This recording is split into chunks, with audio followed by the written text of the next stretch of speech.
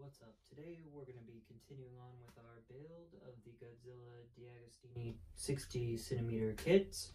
Uh, today we're at uh, number 23, but uh, some some brief uh, good news here before we get started.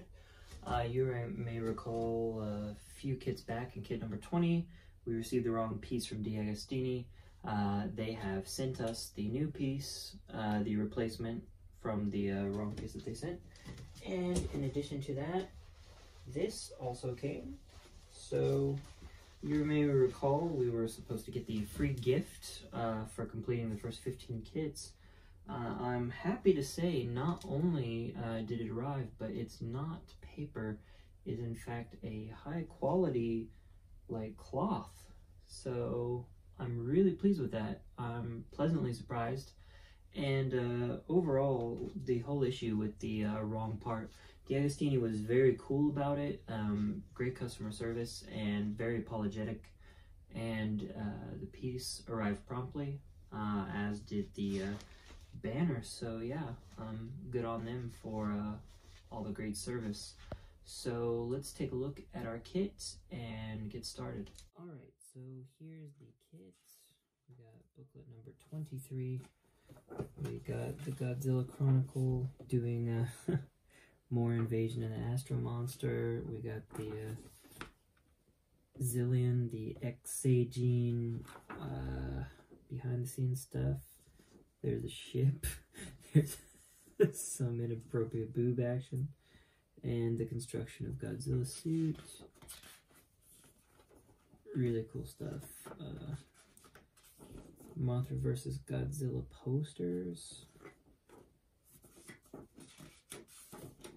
Uh, breakdown of Anguirus. And then our instructions. So before we get building on this week's, uh, like I stated previously in the video, we did get that replacement part back from DeAgostini. So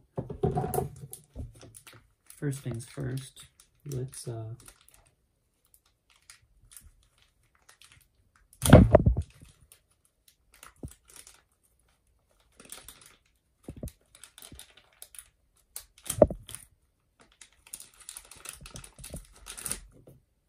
Alright, yeah, so as you can see, they are in opposite directions. So First, we need to remove this piece off of here and get it onto the proper piece. No problem. Now,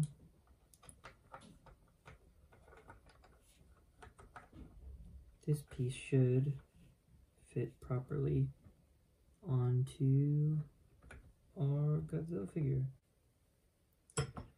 Cool. Alright, so there's his arm fixed. Excellent. So, we're free to move on to the next step, which is going to be these guys.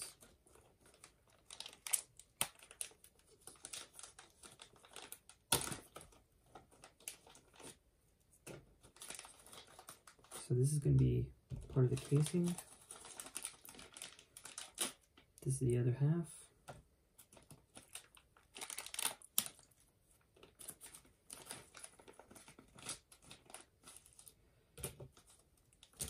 Now we have all these cylinders here and these rubber O-rings which will go over them.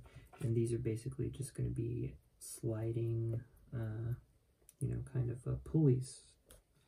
So first we have to cut these out and what we, they want us to do is cut them with slack. So you know you want to leave a bit of space here there's the first one. And now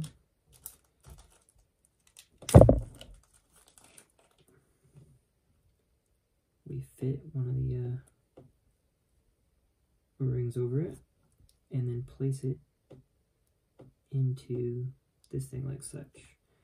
And we're going to do that with each piece. Cradle. Alright, so now this case. Yeah. This may be difficult. We're trying to get these all seated in here. And then close this casing. Oh, nope. Yep, disastrous. Hmm. Cool. Alright, that's got it.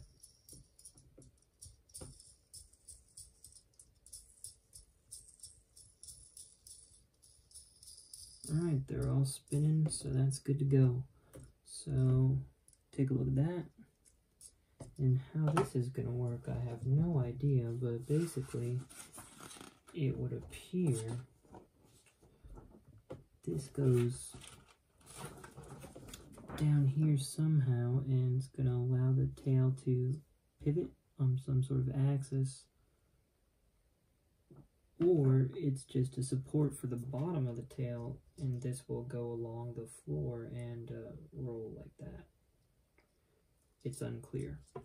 Anyway, next week it looks like we're going to have some uh, wiring harness and uh, two braces of some kind. So uh, we'll see it in for kit 24.